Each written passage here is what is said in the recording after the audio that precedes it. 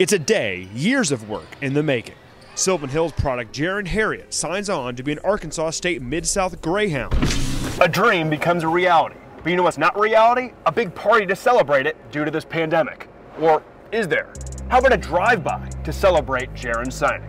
Take a look. No You'd think coronavirus would blow over the fun, but it can't stop a community from saluting one of their own who certainly deserves it. Man, it's a blessing coming where I come from, it's like you gotta work hard just to get out, out of Little Rock. So it's speechless, really. I'm just speechless. And the excitement of it, it just, it, it's just really not a moment that you can really explain. Everybody's support system, I just thank everybody for coming out.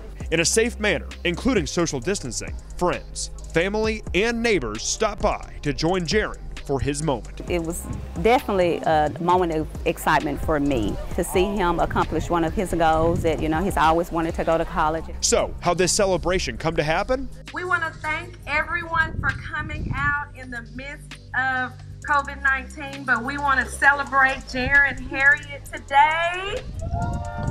You have Jaron's mom to thank. Whenever it dealt with me, my mom always goes the extra mile with something, so this is how my family always is. You know, I kind of thought of the event. Um, I definitely wanted to do something to, you know, for him to celebrate this moment for him. But you know, given that we were in COVID-19, you know, I kept thinking, you know, what can we do? What can we do?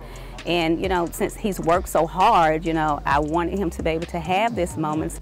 I just want to thank everybody coming out supporting me. People can at least drive by, they can sit in their cars because we still wanted to honor and respect social distancing. So it's a date of significance for more than just one reason. It's his birthday. I just want to thank everybody for all the birthday wishes. I mean, he gets to sign on his birthday. An extremely uh, proud moment for not only Jaron, but for Sylvan Hills and, and for the coaching staff that's uh, walked this road with Jaron. It's not only a moment to remember for Jaron, an uncle, a coach, and a father figure sees a long-time goal come to fruition.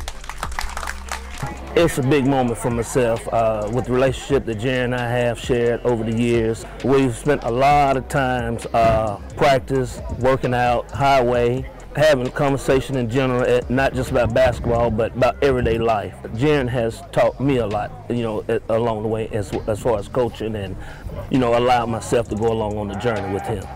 He was a great mentor growing up. He helped me with a lot of things on and off the court. He helped me develop my skills and my uh, people skills too. In big picture, especially in times like these, it's more than just one signing or a party. A lot of people feel like the world has been turned upside down. So, you know, definitely if you can dig down and find some good in, into any type of situation, you know. What's going on around in the world, you know, there is some good to be taken away and some good in today. Not only is this his uh, college signing day, it's also his uh, 18th birthday. It, it makes it that much more special. Extremely difficult times for everybody. We, you know, everybody's doing the best they can with these circumstances, so we're kind of adapting as we go.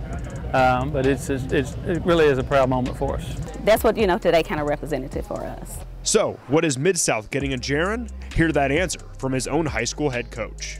Proud to say that Mid-South's getting an incredible young man that's uh, got balance. Uh, he, he's an extremely hard worker.